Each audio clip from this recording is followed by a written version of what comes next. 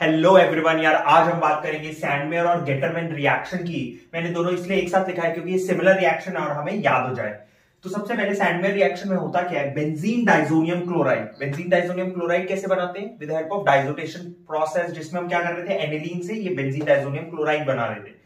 तो benzene diazonium chloride को जब हम ट्रीट करते हैं the presence of CuCl HCl और उसमें हल्की सी हीट देते हैं तो N2 एंड Cl- रिलीज़ हो जाता है और ये आपका बना देता है क्लोरोबेंजीन और गेटरमैन में क्या फ़र्क हो जाता है? सेंडमैन और गेटरमैन सिमिलर है। जस्ट यहाँ पे रीजन में CuCl HCl लग रहा है। यहाँ पे आपका क्या लग जाएगा सीयू एचसीएल और हीट ठीक है क्या? दोनों मैंने इसलिए लिखे थे क्योंकि सिमिलर रिएक्शन आपको याद रहे। तो ये रहा सैंडमेर एंड गेटरमैन का रिएक्शन